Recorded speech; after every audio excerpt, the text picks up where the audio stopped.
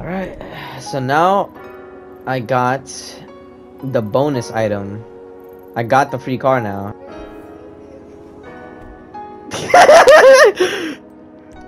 nah, nah, that's good, it's good. It's good for real. Damn, this car's insane. Holy sh... Holy shit! Damn! This shit fast as fuck.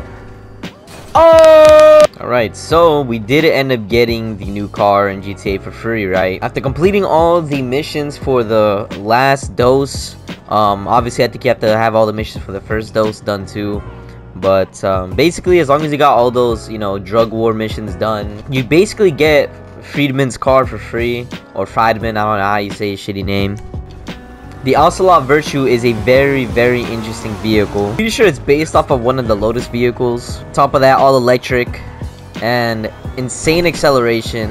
And you can go and customize it anywhere, I'm pretty sure, obviously.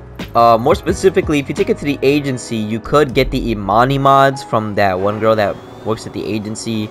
And I think you can add like different mods to it that can like, I guess like um, be like EMP grenades or you know the sticky um, traps that you can have on a car. I mean, I don't really care to add those, but for those who would like to add those, you could just go customize it at the agency. Me personally, I don't care for those mods, so I'm gonna go ahead and take it to the Los Santos car meet and I'm gonna customize it there. Imagine this car with HSW upgrades. Like, this car is already like one of the fastest accelerations I've ever seen. The top speed though maxes out at 120, so it's not the fastest car though, so that's that's pretty tough, I'm not gonna lie. I do like it though. Uh, we're gonna change up pretty much everything about this car. This is stock, basically, and honestly don't really like the delivery too much, so I kind of want to change it. Alright, customizing the new Ocelot Virtue.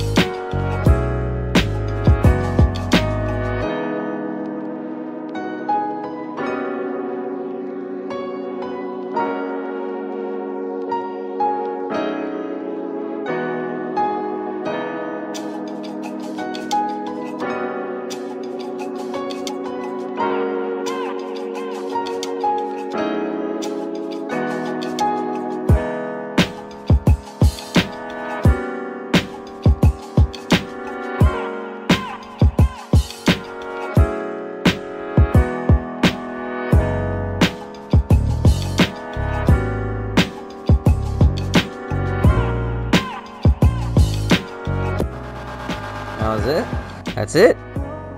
Fully customized Ocelot Virtue. I like this car a lot, but just as it's fairly stock look, okay, I didn't really feel like I needed to add too much customizations to it. I feel like adding would really take away from the beauty of the car, if I had to be honest. So adding a couple different things, minor things like uh, the the racing fins, the spoiler, um, the front and, and, and rear bumpers. Um, the stock wheels are amazing, by the way. Keep the stock wheels as is. You know, most of the cars stock as is looks very, very beautiful. You know, just adding small things like the spoiler. Well, I guess the spoiler isn't a small thing, but you know, small things like maybe the, the racing fins definitely adds a nice touch to the car. But the car doesn't need too much customization, in my opinion, to look very good. I in fact, I feel like if you add too many customizations, it, it, feels like too much for the car in my opinion. But maybe it's just the feel for this car. Overall, I think this car is worth it, worth getting when you finish all the missions and you get it for free. You know, it's dope because you get this license plate. Says mindful. Um, it's kind of hard to see.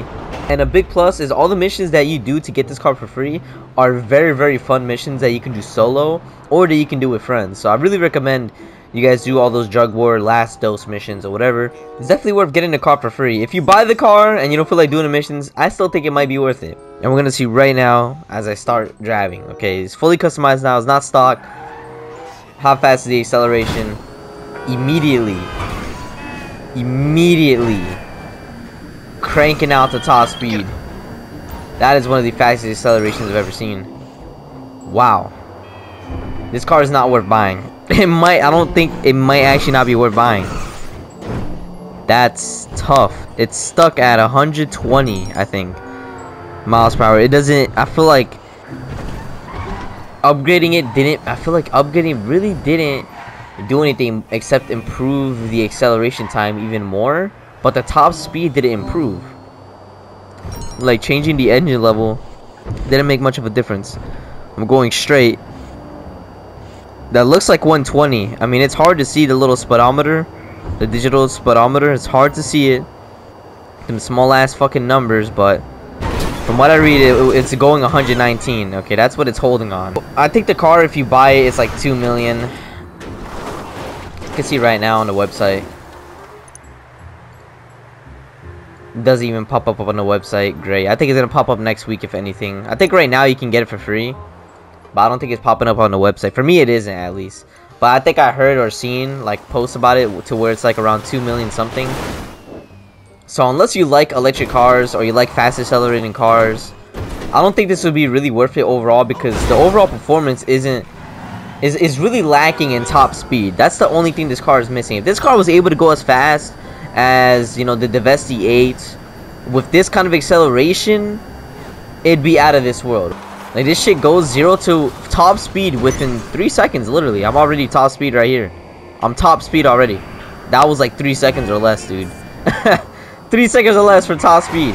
When a Deveste 8 to go top speed takes at least like six to ten seconds, some shit like that. I don't. All I know is it takes way more. It takes more than six seconds for sure for a Deveste 8 to go to its top speed. You know, one of the highest performing cars in the game. And even the Deveste 8 has pretty good acceleration. The top speed after upgrading it from stock, still being 120 is disappointing. I would guess, you would guess that changing the engine level would bring the car's speed up. You know what I mean? That's what usually happens, right? With most cars in the game. Their speed gets, their top speed gets higher, but I guess not in this case. A little disappointing, but it is a nice, good car for the most part. I do like it. I just personally think that unless you're getting it free, it's not going to be too worth it for the most part. Find other cars for a better bang for your buck with better performance overall. Guys, thank you guys so much for watching, and uh, yeah, catch you on the next one. Peace.